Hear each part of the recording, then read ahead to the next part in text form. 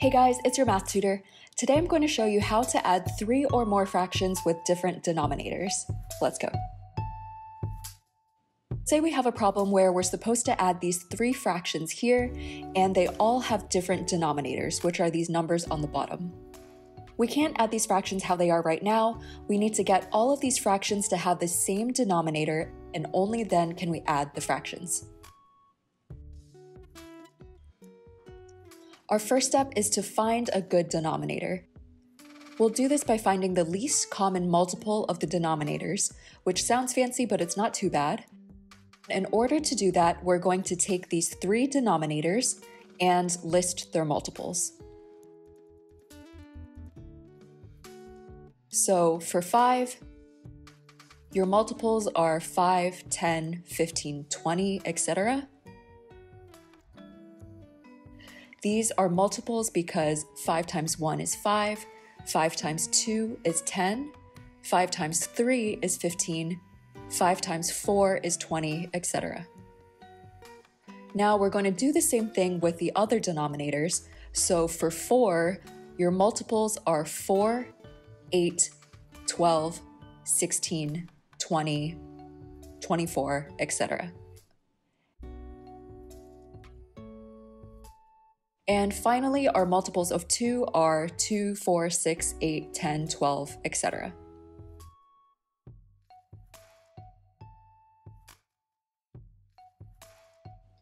Okay, now to find the least common multiple, you need to find the lowest number that shows up in all three of these lists, which is 20 for our problem. That means 20 is the least common multiple, and it's going to be the new denominator for our three fractions.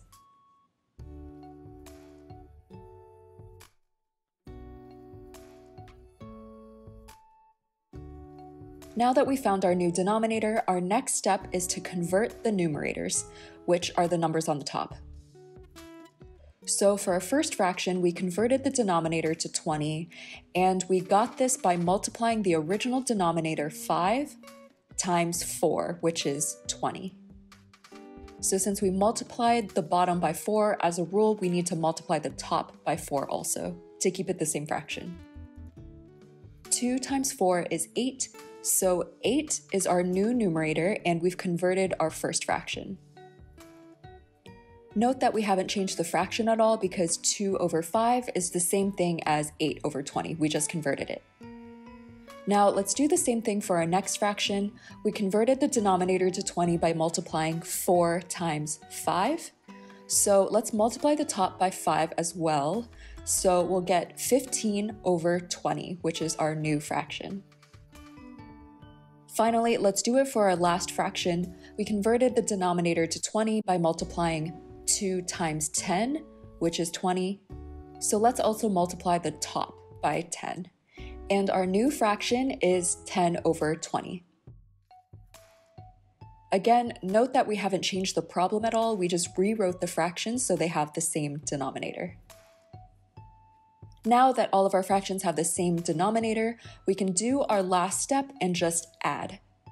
So when we're adding fractions with the same denominator, we can copy over the denominator 20, then add the numerators. So 8 plus 15 plus 10 is 33. This is our final answer. We got that these fractions added together is 33 over 20. If we want to convert it to a mixed number, 22 goes into 33 once, and we have 13 left over. That is our answer as a mixed number.